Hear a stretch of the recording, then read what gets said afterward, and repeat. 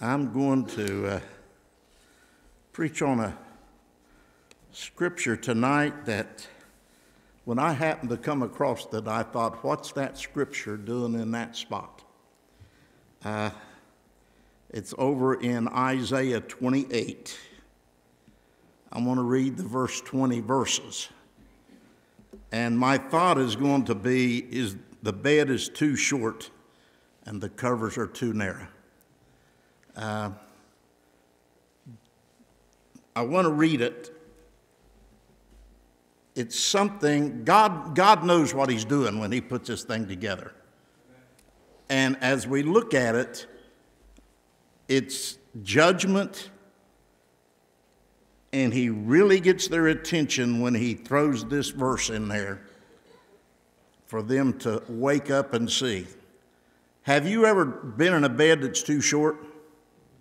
Uh, yeah, you got to be the first to say amen, as big as you are. Uh, too short or the covers are too narrow. Remember when I first got married, Paula and I'd fight over the covers. She usually won. I don't know how, but uh, you know the covers are too narrow. The the bed is too short. It's miserable. So let me uh, let me start in verse one, and I'm going to read a little more than normal but I, I, I want to read it to kind of show you what, what they're getting at right here. Isaiah 20, verse 1, 28 and verse 1 says, Woe, woe to the crown of pride, to the drunkards of Ephraim, whose glorious beauty is fading flowers, which are on the head of the, of the fat valley of them that are overcome with wine. Behold, the Lord has a mighty and strong one, which as a tempest of hail and a destroying storm, as a flood of mighty water overflowing, shall cast down to the earth with the hand. The crown of pride and the drunkards of Ephraim shall be trodden under feet. And the glorious beauty which is on the head of the fat valley shall be a fading flower and as a mighty fruit before the summer, which when he has looked upon it, seeth, while it is yet in his hand, he eateth it up. In that day shall the Lord of hosts be for a crown of glory and as a, a of beauty unto the residue of the, of the people, and for a spirit of judgment to him that setteth in judgment, and for strength to, to them that turn the, the battle to the, to the gate. But they also have erred their, as have erred through, through wine, through the strong drink, are, are out of the way. The priests and the prophets have erred through strong drink. They are, they are, they are swallowed up of, they are swallowed up of wine. They are out of the way through the strong drink. They err in wisdom, in vision they, they stumble in judgment. For the tables, now here's, listen to this verse. For all tables are full of vomit and filthiness, so that there is no place clean. You, you get the idea? The priests, the prophets, are all turned to wine and dr- strong drink. They're called alcohol. They're called. They're saying they're drunkards.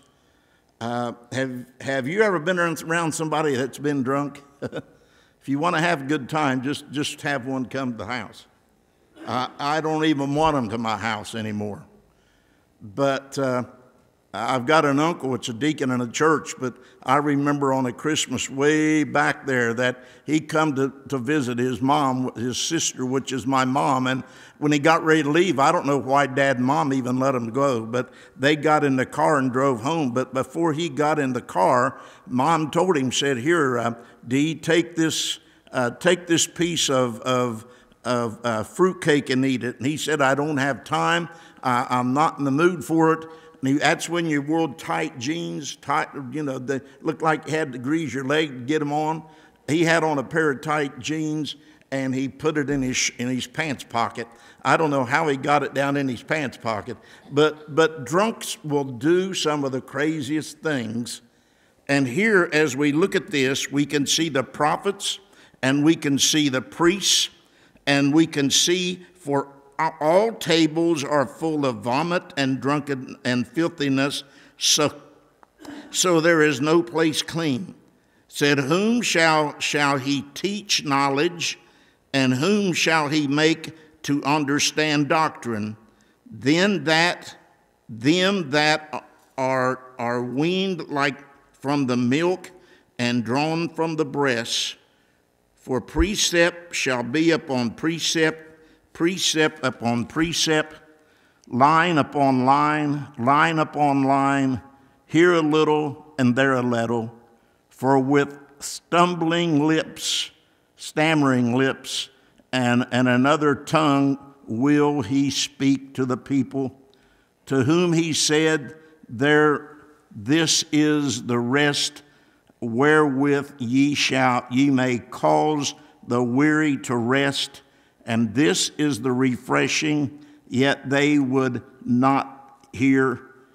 But the word of the Lord was unto their upon them, upon them precept upon precept, precept upon precept, line upon line, line upon line, here a little, there a little, and they that they might go and fall forward and be and be broken and snared and taken.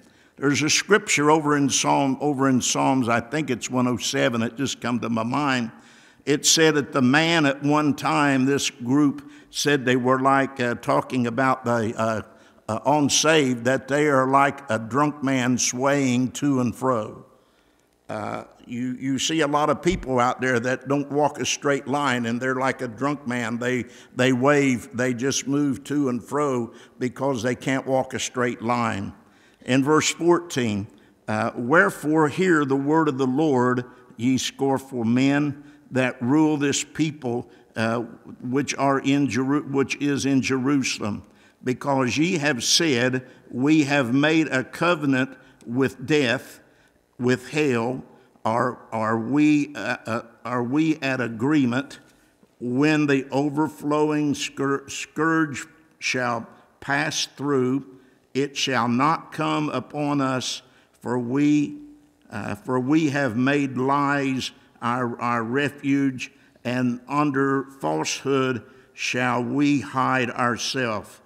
Therefore, thus saith the Lord God Behold, I lay in Zion for a foundation, uh, a, for, uh, for a foundation, a stone, a tried stone, a precious cornerstone, a sure foundation. He that believeth shall not make haste. Judgment also will I lay to the line, and righteousness to the palm, to the pommet. He said that, uh, and and the hail shall sweep away the refuge of lies and the water shall overflow the hiding place. And uh, just let me go to verse 20. I think you get the, the idea. In verse number 28, it said, For the bed is shorter than that a man can stretch himself on it. And it said, And the covers narrower than he can wrap himself in it.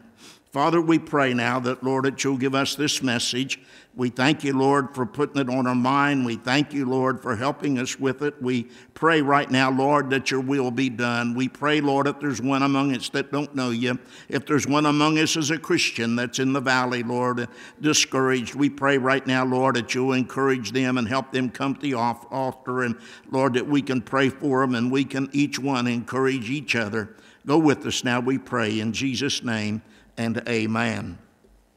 Did you get the idea of what they were saying right there? Filthiness, drunkards, vomiting, filthy.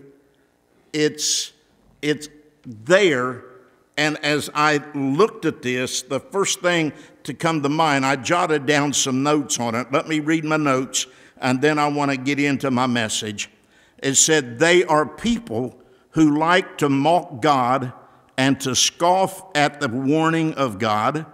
These are people who seek to find rest in philosophies and vain deceit.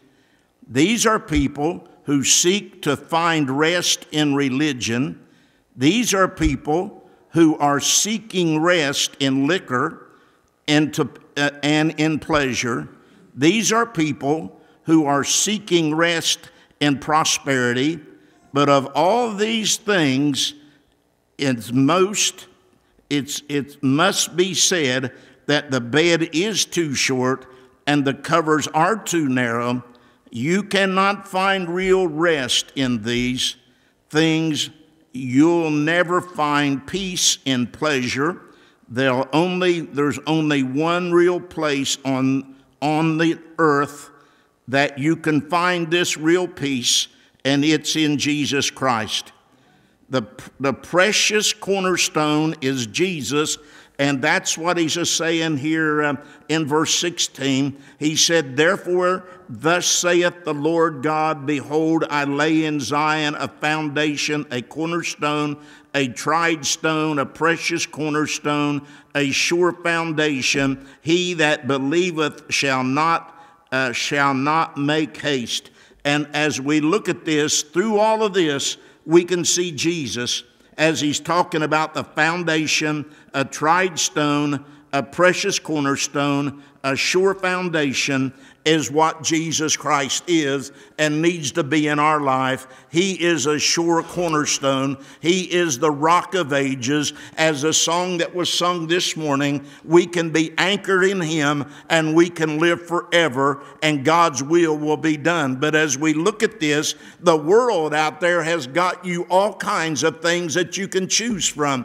If you want to be a cow, go to India and join their religion, and, and you can be a cow. I, I went past a pastor the other day, and them old cows were just laying out there so peaceful, and uh, they were all chewing their cud. I, I told Paula, I said, "Boy, wouldn't it be nice to be a cow?" And uh, she said, "No, not really." And and and as I thought, you know, there's people today that says uh, if you get baptized when you're a baby, that heavens is going to be your home. That uh, there's others that says out there that as long as you live a good life and pay your tithes and attend church, uh, heaven's going to be your home. Now we know that's not right. If it was, why did they put in the middle of this not only about the bed and the covers, but that they, they that saith, The Lord God, behold, I lay in Zion a foundation, a stone, a tried stone, a precious cornerstone, a, a sure foundation. He that believeth shall not make haste.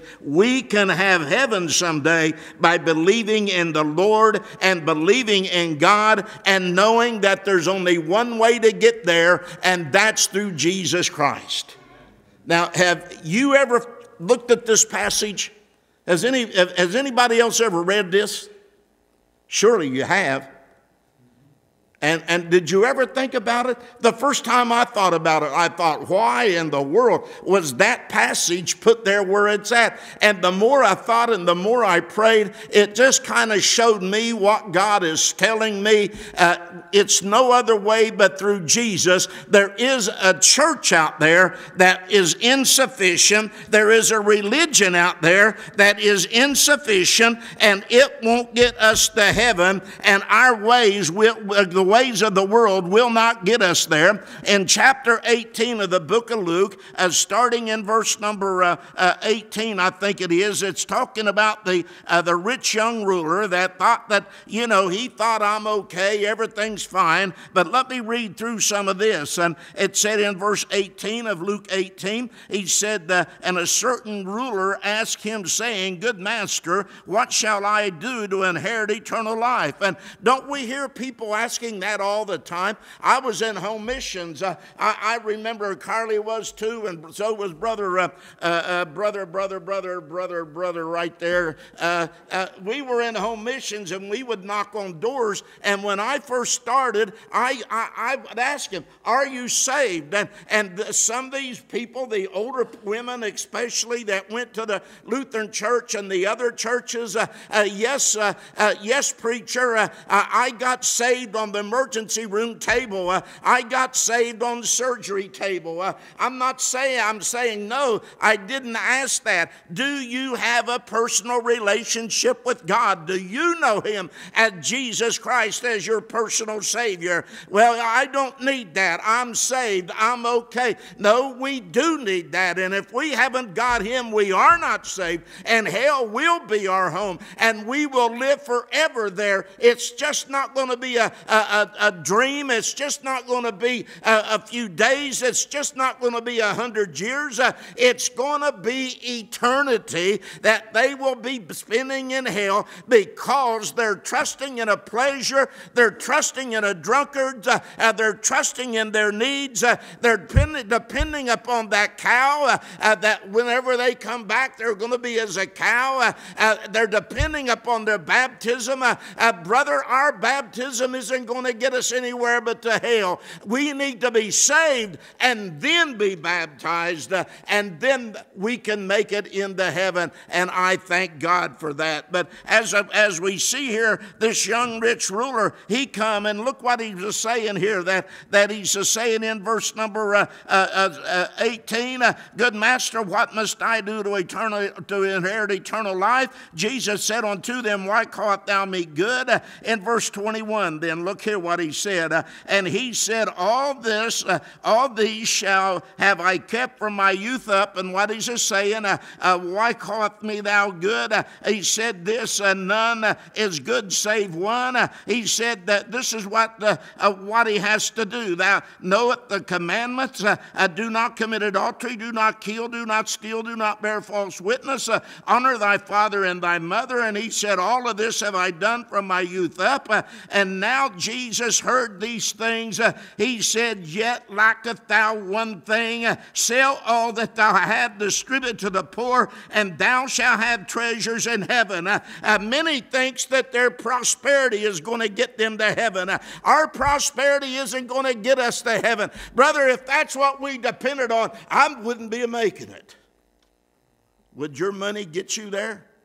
I don't have enough money to get me to heaven but I know I can trust in Jesus and I can be the poorest brother that ever put on a pair of pants and put a Bible underneath my arm and walk in the pulpit and I can have heaven there one of these days. But uh, this guy said, I've done all of that from my youth up. And Jesus said, Go sell what you've got and you can have your part. You can be in heaven. But he did not. In verse, uh, uh, find out where I'm at here, in verse 26. Uh, and, and they that heard it said, Who then can be saved? And he said, The things which are impossible with man are possible with God. We can be saved, any of us, when we come with a willing heart and we believe with everything we've got and we confess our sin and we ask Jesus into our heart. I don't care who you are, where you are, what, what you are, what color you are, what size you are. I don't care what nationality you are. I don't even care how many times you've been married and how many drugs you take uh, and how many beers you drink. Uh,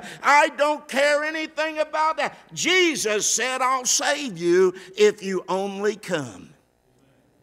Amen. He was plain. But yet he put these verses in here that might show us there is judgment for those that are not. There's going to be a time in their life that they're going to have to stand before God, and then it's going to be you making the wrong choice if you have not got right with God. Let me show you a few scriptures here that kind of go along with uh, this idea that we're not living the right life. Look what he says in Matthew 7 and, and verse uh, 21 or somewhere about that neighborhood. Matthew chapter 7. He's uh, talking here about the, the things that we need to be doing to get to heaven. Matthew chapter 7 and verse number 21. And he's talking here about false profession.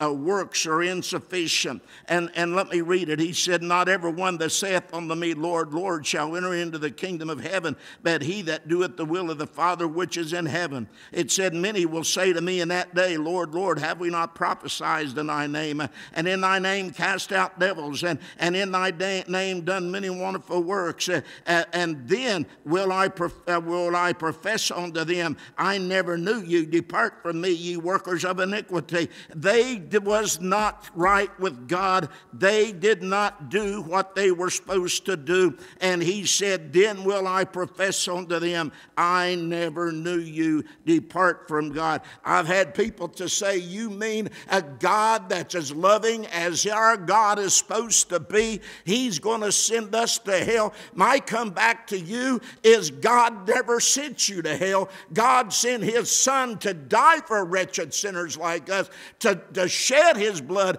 to endure the cross, go through death, go through the, uh, the tomb, and come out on the other side. God has made it possible for us to be saved. The devil will make you think God sent you to hell. You, you God didn't do it. We did it to ourselves. If we die and go to hell, we made that decision ourselves. You know, nobody else. You know, I made a decision one time to marry Paula. She said yes. Her family and all probably thought, What in the world are you getting into? Roy Roach, oh my one of her friends up in uh, was in the Air Force up in North or South Dakota sent uh, their their dad his her dad and mom was at our wedding and uh, sent word this the dad and mom sent word to to North Dakota or whatever it was Air Force base up there that uh, we don't know what Paula got into but uh, we feel sorry for her she didn't get very much. a lot of people thought that. But you know, I started preaching and he called me his favorite preacher. So, listen, God knows what he's doing. We put our trust in God I don't care what we've done. I don't care what's going on. Uh, look another verse here I've got, if I can find it here real quick. Uh, a couple another just to go along with this right here would be over in uh, uh Galatians uh, uh, 2 and verse number 6. And then I want to go to Ephesians, Galatians 2 and verse number 6. Look what he says here in this verse. 2 and let's go to 16. 2 and 16 of Galatians. It said, Knowing that a man is not justified by the works of the law, but by the faith of Jesus Christ and he said, Even we have believed in Jesus Christ that we might be justified by the faith of Christ and not by the works of the law. For by the works of the law shall no flesh be justified. We cannot get to heaven by the works of the law. We've got to go to heaven through Jesus Christ. Look at over in Ephesians 2 and, and verse number 8 and 9. Ephesians 2, verse number 8 and 9. Look what he says over here in this verse of books of Ephesians, chapter 2, verse 8. He said, For by grace are you saved through faith, that not of yourself, it is a gift of God, not of works, lest any man should boast. We are not saved by works. We're not saved by who we are or or by knowing somebody. You can go to the book of uh, uh, Titus, chapter 1, and verse 16, and get some more on that. Uh, I want to look at what, what a sufficient religion might be. There is a, a, sufficient religion out there. And as I thought about that, I began to think about people like Daniel uh, that prayed, that Daniel went through the lion's den. God gave him the victory. I started thinking about the Hebrew boys, uh, how that they were put, uh, uh they, that Daniel was put in the, in the fiery furnace. The Hebrew boys was put in the, in the, in the, in the, uh, uh, in the fiery furnace, and Daniel was put in the, in the lion's den. I get get that right that time. And as we look at these guys, they, they all four of them come out victorious. God was there with them, God was there to help them. I thought about Abraham. They, he tried to help God whenever Ishmael was born. It wasn't, it wasn't God's will, but here he is. Uh, he tried to help God, but yet Abraham uh, repented of all of his sins, and Abraham made it to heaven. I started thinking about some of these others that uh, uh, Hezekiah, uh, God sent word that he was going to die uh, in what was it, three three weeks or three whatever it was. It's been a while since I read it, but he he prayed and God sent word to him and told him he was going to extend his life, and God did. How many do we know that's lived a life that is faithful to God? And I'm looking at a whole bunch of you here tonight that's lived your life faithful to God, and I know if we walk in your steps and do as you do, we're all going to go to heaven together. Amen. That's that's it. That's it. But yet the world tells us the world loves to tear down what we got. I used to work public work. I know what they do. I know how they do it. I, uh, I, I, uh, my brother, my little brother, was one that said, "I'm as good as the deacons is over at that church where you pastor. I don't need to come to church." I finally told him, "Raj, uh, I don't care what you believe. I don't care what's going on. You know better than that. I was raised in the same house you was raised in. You can say that all you want, but you do me one favor. You get yourself." Saved, and then you show those deacons over there that you think they're not living right, you show them how to live if that's what you think. He wouldn't.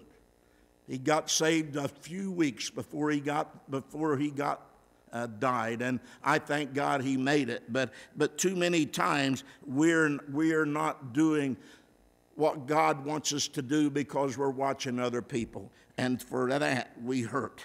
There's only one way to get to heaven. Let me, let me, let me go through a couple more verses here. Second Corinthians chapter 5 and verse number 21. 2 Corinthians 5 and verse 21. I told you some time ago to carry a piece of paper around with you and write all these down, and I, don't use bookmarkers. I, I can't keep, they keep getting away. So uh, first, uh, second, second Corinthians 5 and verse number 21. He said, For he has made him to be sin for us us who knew no sin, that we might be made the righteousness of God in him. He has made us to be what he wants us to be. He had no sin. He knew no sin. He took our sin to Calvary. Look what he says over, over in First, um, uh, 1 Peter 1, 18 and 19. Over here at another time, 1 Peter 1, 18 and 19. Look what he says here in this verse, as if I can get my thumbs going here fast enough.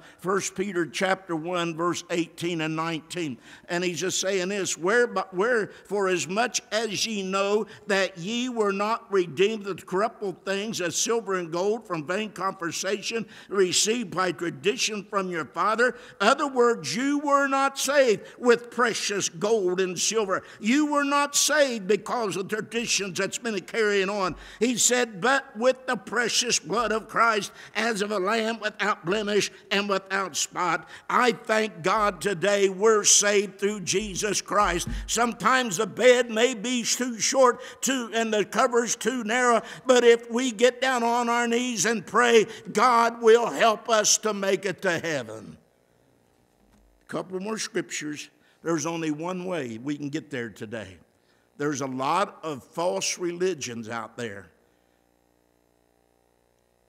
Through the years, at different times, I've taken five or six of our of our false religions that we hear around our communities, and I've had Bible studies over those. But it's been a while. I probably give all of my books to Tim. Whenever I was thought that I was retired, I gave him all of my books. But uh, look, he, we all know what John three sixteen says: "For God so loved the world that He gave His only begotten Son." That whosoever believeth in him should not perish, but have everlasting life. Jesus says, I am the way, the truth, and the life. No man cometh unto the Father but by me. Look what he says over in the book of Galatians 1 and verse 8 and 9. Galatians 1 and verse 8 and 9. Look here uh, what he's just saying here. If I can get my fingers going again, that, that I can look at this. If Galatians 1, verse 8 and 9, and look here what he says here. He said, But but through but though we or an angel from heaven preach any other gospel unto you than that which is which ye have been have preached unto you, let him be accursed. But as we said before, so say I now again, if any man preach any other gospel unto you than that with that ye have received, let him be accursed. God said that two times. Don't you think he could have said it once? But I think he said it the second time, verse to verse, to get our attention. I need to do it that way. No other way is going to get it. Occasionally, my dad would say, Son, I've told you twice to pick up them shoes. They won't be a third. I knew it was time to pick up those shoes. But though we or an angel from heaven preach any other gospel unto you than, than that which we have preached unto you, let him be accursed. As we said before, so say I now again. If any man preach any other gospel unto you than that, that uh, ye have received, let him be accursed. It's twice he said the same scripture. We need to realize tonight Jesus is the answer. Jesus is the one. The, pre- the priests and the prophets may be drunk, but thank God our high priest is sober. He's there for us. He's made us a home. And he's got something there for us one of these days. Aren't you glad? Father, we thank you for this message. Lord, we thank you, dear Lord, for giving us these words. We thank you, Lord, for the, the message, Lord, and the scripture that you've allowed us to preach. Lord, speak to our hearts tonight.